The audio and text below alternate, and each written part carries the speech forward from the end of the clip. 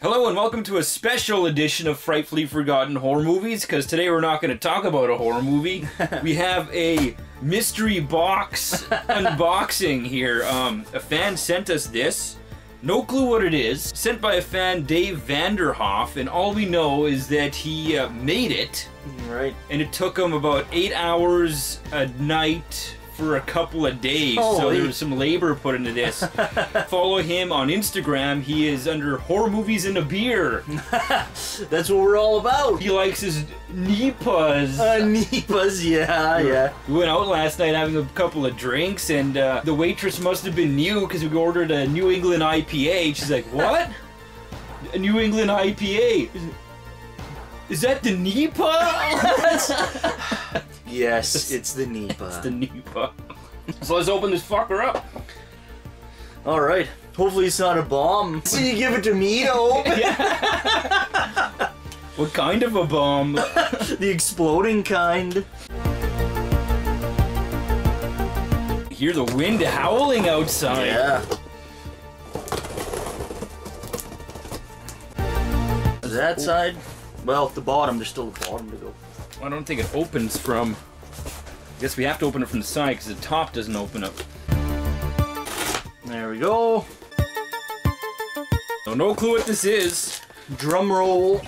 Oh, look, we have something else to open up. So it's not a it's not a BIM. Whatever it is, it's hard. It's like. Hopefully, it's not our tombstones.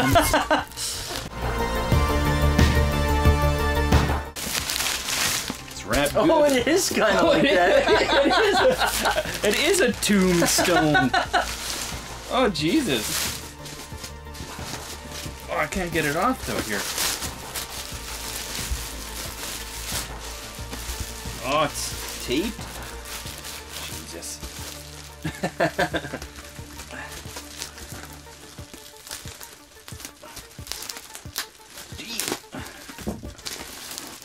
Brute force will have to. Yeah, but then if it's styrofoam, it might damage it.